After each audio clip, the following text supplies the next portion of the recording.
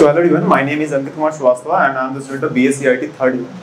And today we learn uh, agentic AI and there are multiple things uh, like uh, N10 and uh, which is a low code uh, and no, uh, no code platform through which we can build our uh, own chatbot and we can do anything through automation.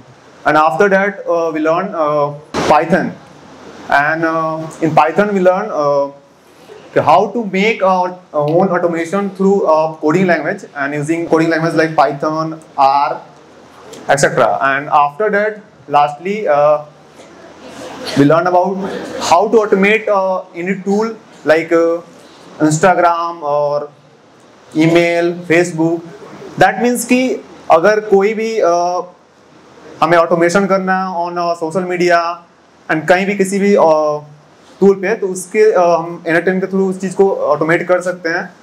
And जैसा हम चाहते हैं उसके according उसे reply कर सकते हैं। जैसा उसका हम मैसेज ग्रैप करना चाहते हैं, उसके अकॉर्डिंग उसे ग्रैप भी कर सकते हैं।